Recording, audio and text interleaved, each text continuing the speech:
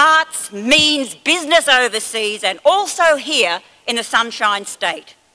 Arts are by no means a frill. Recent figures reveal arts to be an important economic driver as conventions and exhibitions. According to Virgin Australia's latest figures, 50% of recent international visitors attend cultural or heritage, activities, and Virgin are going to expand promoting Australia as a cultural destination. Queensland is experiencing the highest growth rate in the arts in Australia by 7% and underrepresented by its lack of facilities. 80% of residents attend cultural activities, double that of sport at 40%. Without arts, we are not building rounded communities and ignoring the fabric and soul of our society. Arts build social capital. Arts improve the economy. Arts are good for the individual's health and well-being. The most vibrant cities in the world are those centred round an active cultural scene. A cultural heart acts as a magnet, enticing quality investment and attracting the best young minds to live and work in these vibrant communities. If we are to thrive and mature as a whole society, this project must be a, a priority. Creative industries are driving today's economy and are resilient in times of economic downturn. Art is the key component to our solution for economic recovery. Arts and Prosperity Study 4, the most updated comprehensive art study in America, show how, during the worst economic crisis in 2010 and similar in the United Kingdom, that arts remained robust, producing $132.2 billion of economic activity, $61.1 billion by the nation's non-profit arts and cultural organisations, an additional $74.1 billion in event-related expenditures by their audiences.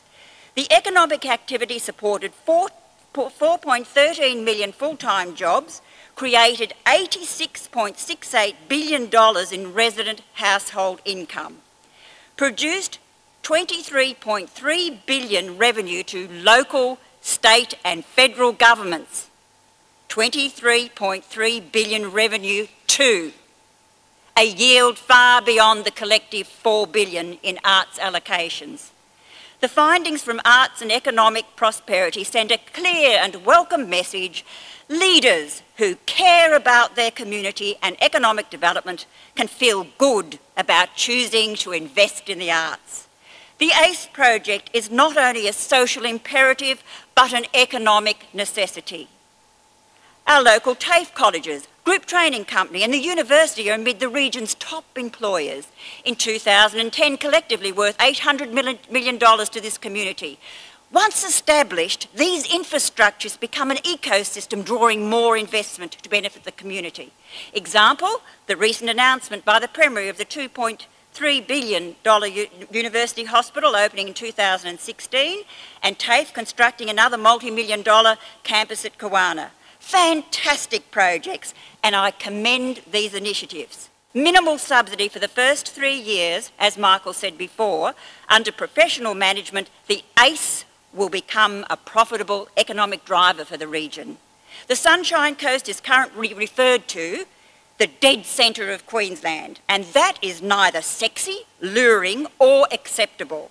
I discovered when reading last week the front page of the Cairns tourism website, Kelly, 29, moved from Noosa with her children and husband, quote added, I prefer it up here. It's great that everything's within 15 minutes drive.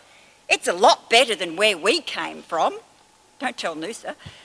No more dithering. Let's ride the rush of economic recovery beckoning at our door. We have a great destination. We have a ready clientele.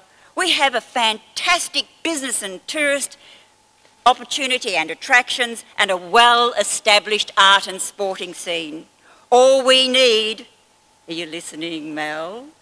All we need is the collective political will to drive forward this much delayed ACE project. I close with the remarks by Kevin Spacey at the United Kingdom Economy Conference.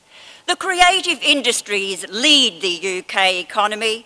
They constitute one of the nation's most powerful resources. Let us shout louder to make sure those in positions of power and influence realise their value to the economy as well as to our collective soul. The question is not what can the economy do for the arts, but what can the arts do for our economy? The answer, a good deal.